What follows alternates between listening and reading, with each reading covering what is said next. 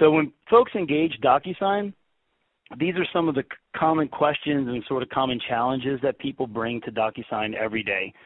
So people say, "Hey, I, I did a great job selling my product and I got the contract, but now now it's it's hard to uh, after getting a verbal yes from somebody to to actually close a deal."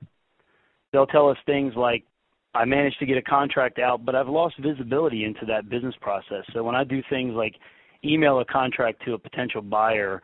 Or I fax a contract to a customer, or I overnight it. My visibility into that process went from from tremendous, maybe inside my internal system that's automated and, and electronic, to really poor when it moves out to to an analog third-party system. Uh, some of the newer challenges we hear, especially, and I think this should be resonant to the to this audience, is, hey, we, we're committed to Salesforce. We're, we're moving our business onto Salesforce, or at least a significant part of it. So we understand getting rid of paper and we're interested in electronic signature, but it has to it has to exist inside of Salesforce. You guys have to couple with Salesforce because we're committed to that. We also hear, and I think this is even more specific to this audience, which is which is sort of a more of an SMB audience. People get e-signature, so a lot of our conversations are, "Hey, that sounds great. Hey, I'd like to do that." But there's also a very real concern inside of smaller companies that they don't have the technical bandwidth to take on the project. So a lot of what we want to discuss today is not only telling you sort of the pains that we solve with our software, um, the visibility that we provide with, with a, a solution like DocuSign for Salesforce, but we want to make it very clear today that the integration with Salesforce is strong and secure and valuable and provides you with ROI, but maybe even more importantly, to get there, it's not a heavy lift. This is not months and months of development. You don't need to hire a bunch of expensive technical people. This is something that you can get up and running with uh, relatively quickly and relatively easy, and we're going to we're going to show you a little bit of that today. As the transition slide to the demo, let's make it abundantly clear what, what we're talking about here. So DocuSign, of course, is its own cloud-based service, but DocuSign for Salesforce is a special thing. It's it's effectively a a pre-built connection between Salesforce and DocuSign that both companies have been working on for years. Um, it's an App Exchange package. It's installed as an App Exchange package. You can do it right from the App Exchange.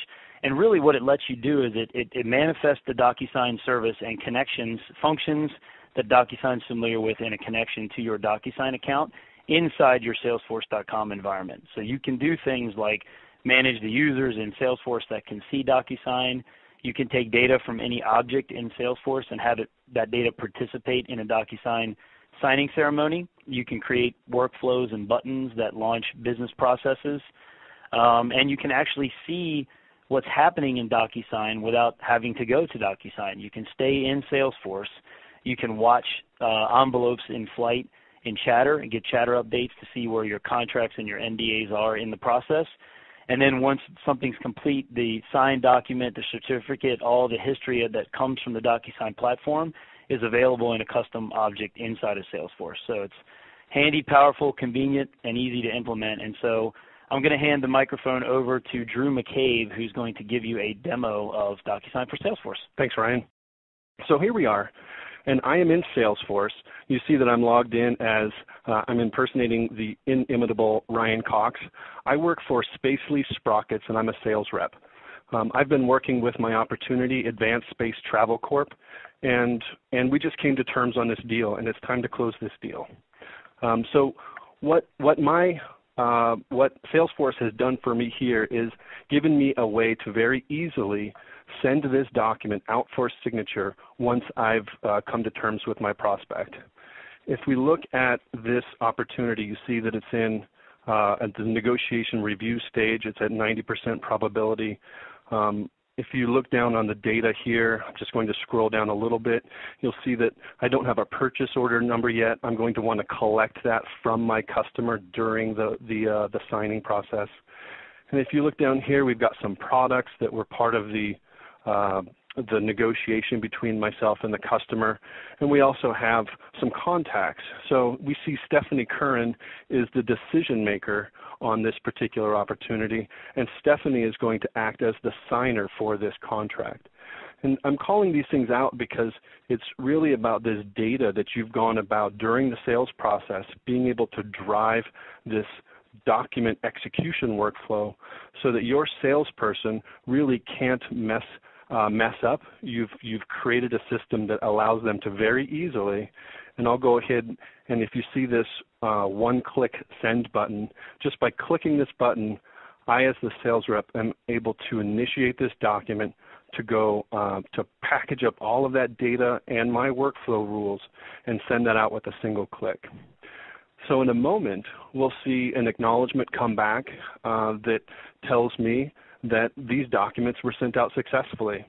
At this point, as the sales rep, I'm done. I can move on to my next uh, my next call, or some of our customers will even stay on the line with their customer and walk them through this signing process because over in my customer's inbox, they've got an email that's immediately delivered and ready to sign.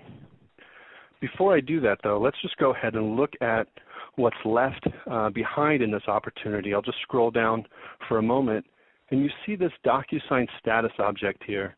And that's left behind, and, and we have this record that we just sent, and we can see that that's sent.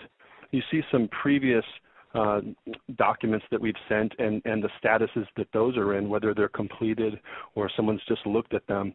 And all of that's visible right here within the CRM. So let's go ahead and jump over into the signing view. Okay, so we're changing hats. First, we were working as the sales rep within, doc, uh, within Salesforce. Now we're changing hats, and we are uh, playing the role of Stephanie, the customer. And in Stephanie's email, she has received this uh, this email from Spacely Sprockets, and you can see that it comes from her sales rep that she's working with. It's branded to that company, so you're you're able to maintain your brand and have that personal connection with your customers.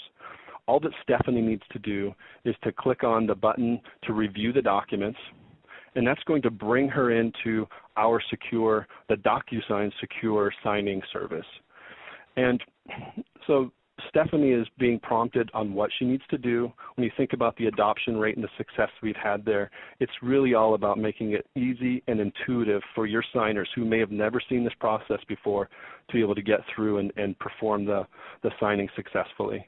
You'll see that uh, Stephanie has some other options, like maybe finishing later, or maybe she's not comfortable with signing electronically. You can still offer an opportunity for her to sign via a paper-based channel if, if that's uh, if, if uh, she prefers that.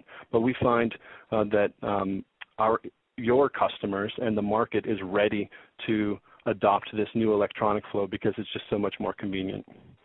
So now I have the opportunity to uh, review the document, and, we'll, and DocuSign even provides a, a, guided tour that will take them through specifically the things that they need to do, which may include something more than uh, signing the document. You see here that purchase order number that we wanted to collect. We can actually just go ahead and co collect that right within the signing flow.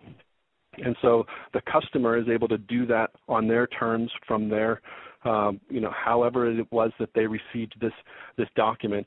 They also have things like some of the data is going to be not editable, like this billing address, but what if they wanted to change their shipping address? Um, you could actually enable them to go ahead and update certain fields, and you're in complete control about which fields they get to update. Things like the shipping method is another one where you might enable someone to make certain types of changes, um, but lock down those things that are, that are outside of their authority. Now we're to the point where they're going to sign the document. And, and so how do you sign a document with a computer? What we've done is borrowed from familiar processes like these sticky tags. And if I just click on this sticky tag, it's going to prompt Stephanie to adopt her electronic signature. And by doing this, St Stephanie's attesting that this electronic moniker is going to have the same uh, effect as her pen on paper signature. And all she needs to do is to adopt this signature, and DocuSign will then apply that signature to the specific place where you've said that she needs to sign the document. If there were more documents in this package or more pages or signatures, Stephanie would just navigate down from one to the next um, until she had completed all of her tasks. You notice that she didn't get a chance to confirm the signing until she had done each one of those required tasks. And that's how you can trust that anything that comes through the system is going to be signed correctly without any missing signatures or mistakes. So the last step is for her to click this confirm signing, and that's just a way to uh, to be conservative so that someone can't say I brushed I brushed up against the mouse or I did something accidentally. We take a very conservative approach to making sure that these comply with all of the legislation. DocuSign warrants that our system complies with the the federal e-sign law, and we're the only e-signature provider to do that. I can now download or print my document and then if I just go ahead and close this window, I as the customer can be taken back to your website. Um, in this case, we're taken back to the Spacely Sprockets website where we can continue to upsell that customer or, or, or increase our brand reach with our customers. So that was the uh, that was the customer experience. Now, what does the sales team need to do in order to to uh, to take advantage of this this new optimal path that my customer took? And the answer is they don't need to do anything. Um, this the connection from I just jumped back into Salesforce. So now we're we're back in Salesforce and we're looking at things from the uh, from the sender's perspective.